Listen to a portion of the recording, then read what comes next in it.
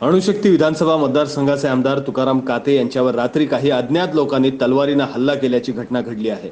यात शिवसेनेचे आमदार थोडक्यात बचावले मात्र त्यांचा सुरक्षा रक्षक मात्र गंभीर जखमी झालाय. हा हल्ला ट्रॉम्बे भागात झाला आहे आणि काते याच भागातील आमदार आहेत. हीच ती तलवार आहे ज्याने शिवसेना आमदार काते यांच्यावर जीवघेणा हल्ला करण्यात आलाय.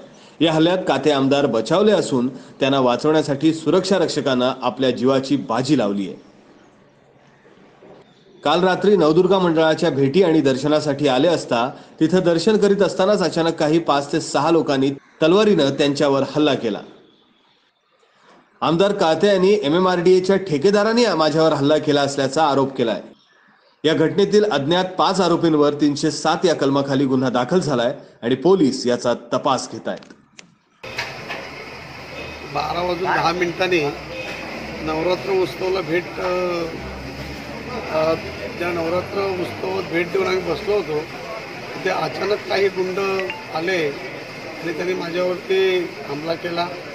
खरं म्हणजे माझ्या जो अंगरक्षक आहे दुर्गुडे त्यांच्या हुशारीमुळे माझ्या माझ्यावरती जे वार होत होतं ते त्यांनी त्यांच्या हातावरती घेतलं.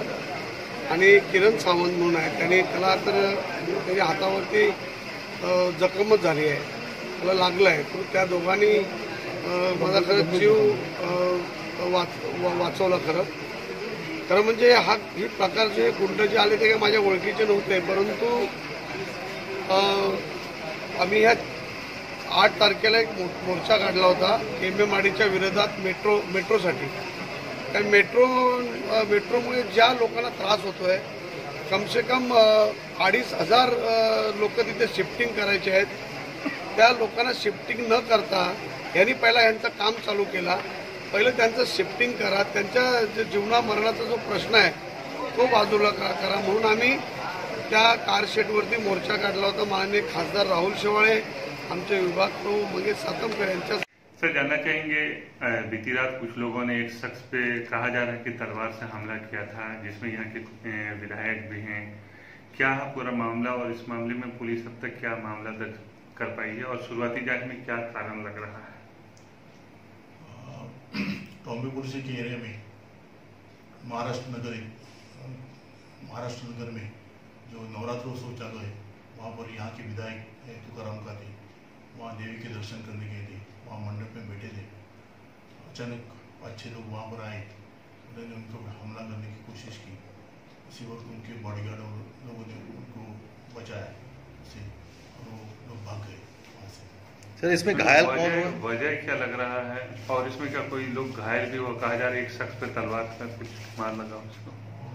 मार एक किरण सावन उसको मार लगा और साहब तुकाराम ताती साहब का जो बॉडीगार्ड है उसको मारा शुरुआती जाँच में क्या लग रहा? है कारण क्या हो सकता है हमले की? कारण यहाँ पर जो मेट्रो कार शेड का काम चालू है वहाँ पर उन्होंने मोर्चा निकाला था।